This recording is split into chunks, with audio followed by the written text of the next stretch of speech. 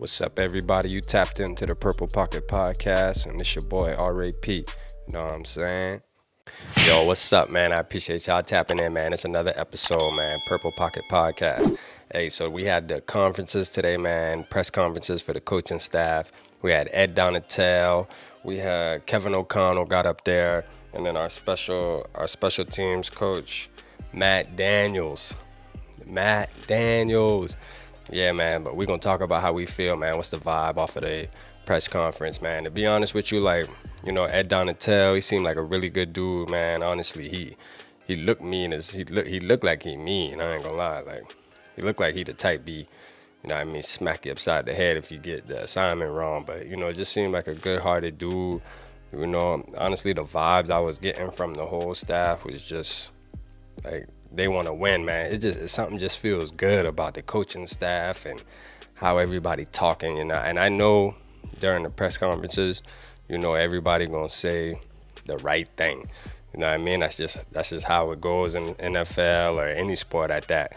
You know, press conferences they always gonna say the right thing, try to make it seem like they just perfect. But you know, honestly, man, I really feel genuine. I think it's genuine, man. I really think that it's a breath of fresh air actually listening to them, you know, getting rid of all that toxic waste we had, man, for the past eight years. But, you know, anyway, man, yeah, so Ed Donatell, he was up, man, and, you know, eh, hey, he was just talking about his scheme and how he got to learn the players and learn who he got out there and, you know, just, just making it make sense. Making it make sense, you know what I'm saying? And, and it feel good. It feel good to say we got a new staff, right? All right. Then we got Matt Daniels, where you know Matt Daniels coming from from Dallas special teams. You know, I mean I ain't really pay too much attention to their special teams. I don't really watch Dallas like that unless we playing them. But I do love when Dallas lose because man, so many Dallas fans, man, them boy be.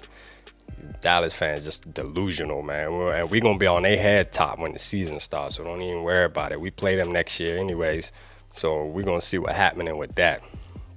But you know, he seemed like a good dude. You know, very intellectual dude, man. Just seemed like he know what he doing. Obviously, he's a players type coach from you know what everybody's saying. So that's a good thing. That's what we need. We need player type coaches, man. Not coaches that just go in their office and don't even say what's up to the players. Like, I mean, I read an article where Brian O'Neill was saying that Mike Zimmer's never said hey to him, dog. Like, what what type of type of man, dog. Like for real, what, what? Boy, like it's crazy. It's crazy out here, man.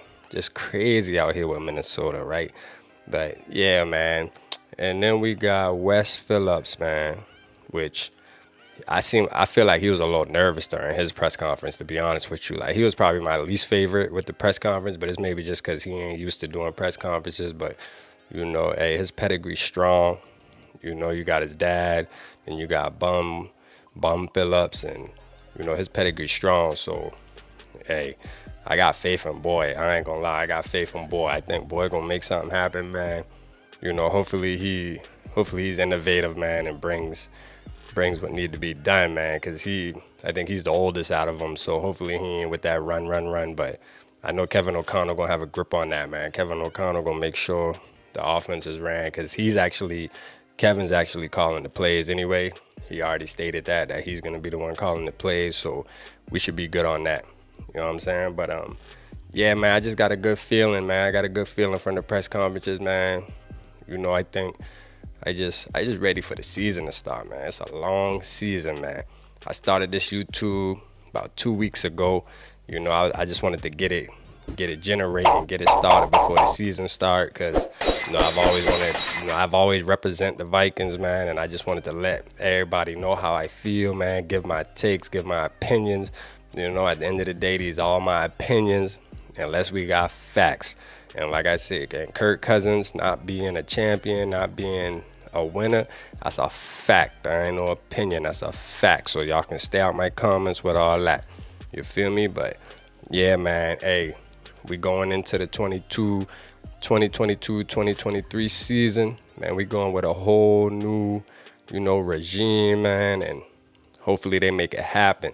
You know, I feel good about it. Y'all let me know how y'all feel about it in the comments, man. If y'all happy, man, if y'all watch those those interviews and y'all feel good about it, man, let me know down in the comments section, man. Appreciate you. Holla at your boy.